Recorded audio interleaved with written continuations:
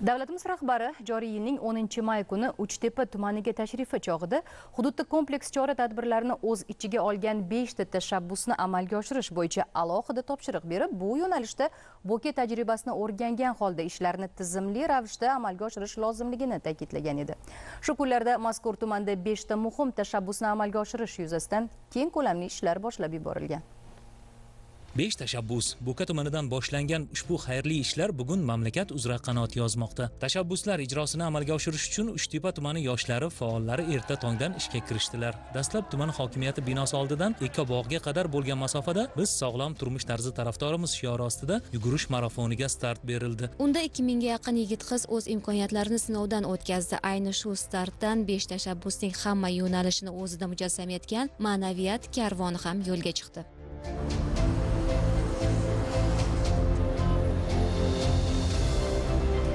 Uchtepa tumani ko'rkiga ko'rk qo'shib turgan ekobog'da o'tgan tadbirlar esa haqiqiy bayramga aylanib ketdi. Bu yerga kelgan yoshlar yangi chop etilgan badiiy adabiyotlar bilan yaqindan tanishish barobarida yurtimizning taniqli shoir va yozuvchilari bilan uchrashdilar. Sportchi yoshlarning ko'rgazmali chiqishlari shuningdek kompyuter markazidagi kiber sport vakillarining o'ziga xos tomoshalari yig'ilganlarga manzur bo'ldi. Ekobog'ning o'zida yugurish marafoni g'oliblari tashkilotchilarining diplom va medallari qimmatbaho sovg'alar bilan taqdirlanishdi. Ahamiyatlisi bu ezgu ishlarda davlat va nodavlat tashkilotlarining aksari o'z hissalari bilan ishtirok etishdi. Uchtepaliklarning esa bundan boshi osmonda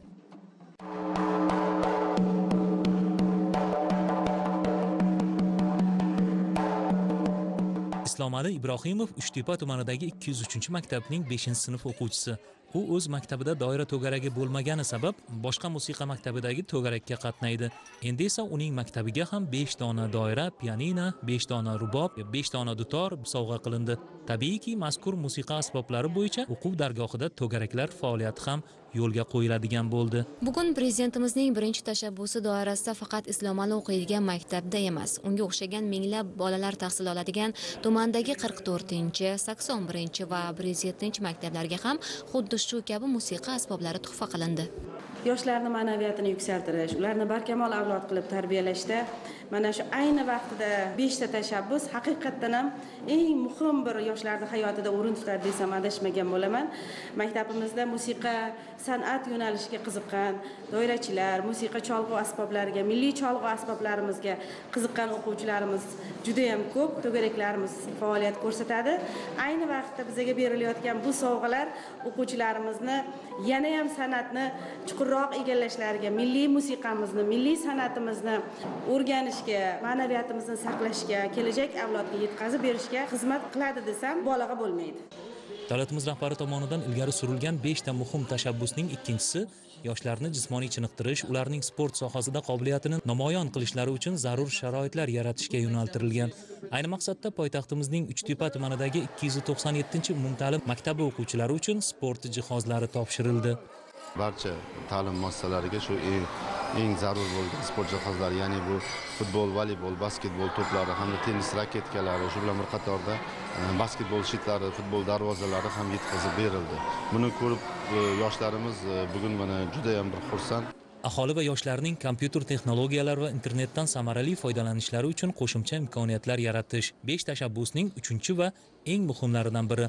Unga ko'ra 2019-2020 yillarda barcha tuman va shaharlarda raqamli texnologiyalar markazlari barpo etiladi. Bundan tashqari 19 mingga yaqin ijtimoiy soha obyektlari kompyuter texnologiyalari va yuqori tezlikdagi internet bilan ta'minlanadi. Toshkent shahridagi inha universiteti talabalari safiga zaxira tayyorlash va universitetga qatnash vaqt va transport xarajatlarini qisqartirish hamda universitet tinglovchilariga shu jumladan ularning ota onalariga qulay sharoitlar yaratish maqsadida uchtepa tumani hududida 2018 yil 30 noyabrdan universitet va high profile education o'quv markazi bilan hamkorlikda universitetgacha bo'lgan tayyorlov kurslari va axborot texnologiyalari yo'nalishidagi o'quv kurslari tashkil etildi.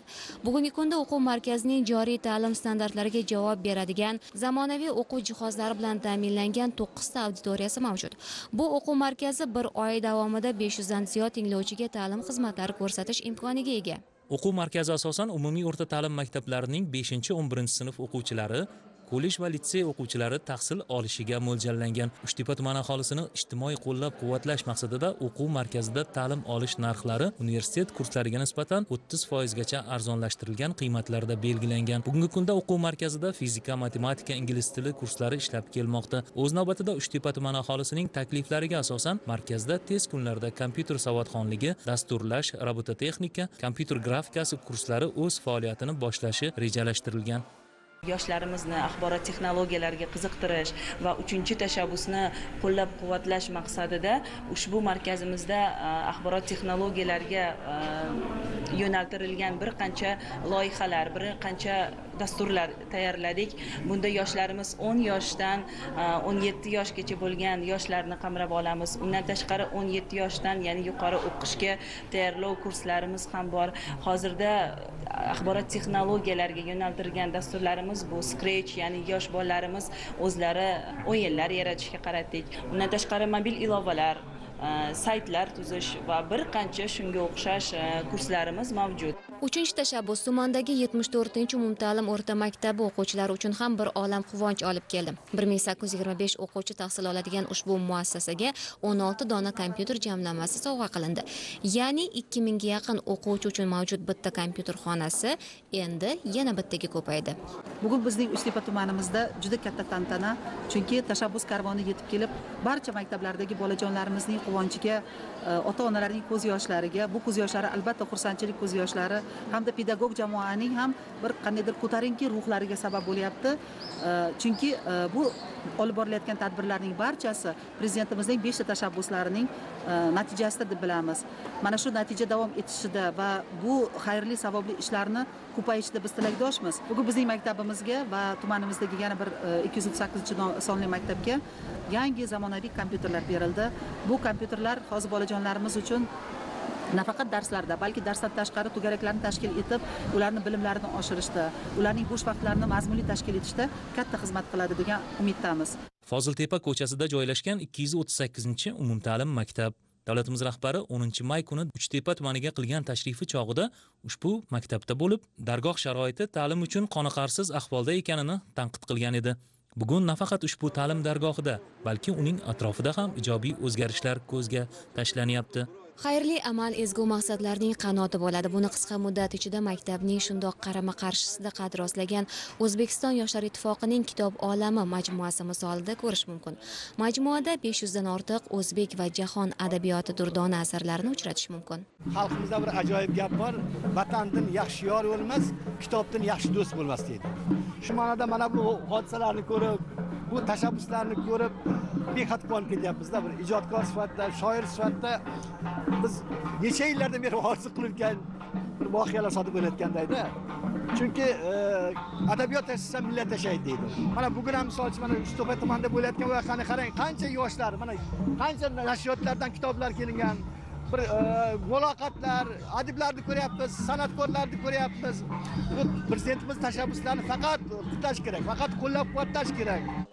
Buyuk yozuvchilardan biri aytganidek kitoblar oldida dunyodagi jamiki narsalar boyliklar nursiz. Shu kuni besh tashabbus doirasidagi kitob karvoni uchtepa tumanidagi mahallalarga ham nur olib kirdi. Xususan birlik mahalla fuqarolar yig'ini hududida namunali kutubxona tashkil qilinib unga ming dona kitob sovg'a qilindi. Kitobxonlik o'z o'zidan paydo bo'lib qolmaydi. Shu boisdan kitob o'qishga targ'ibot to'rtinchi tashabbusning asosiy shartlaridan.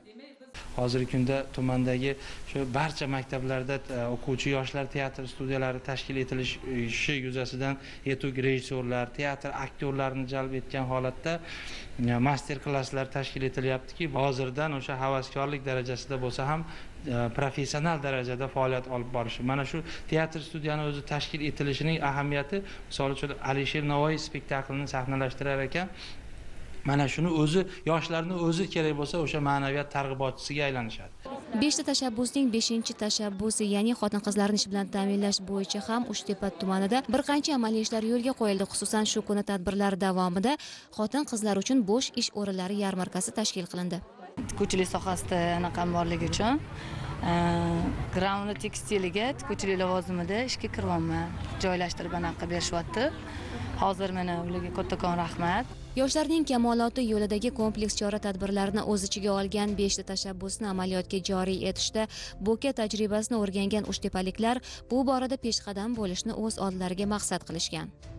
Ushbu ko'rsatganlarimiz tumanda qilinayotgan ishlarning bir qismi xolos. Xayrli tashabbuslar ijrosining butun bo'y bastini to'laligicha kameramiz obyektiviga muhrlashning esa iloji yo'q. Ezgu maqsadlarga yo'g'rilgan bu kabi tadbirlar yil davomida o'tkazilib mamlakatimiz bo'ylab yanada quloch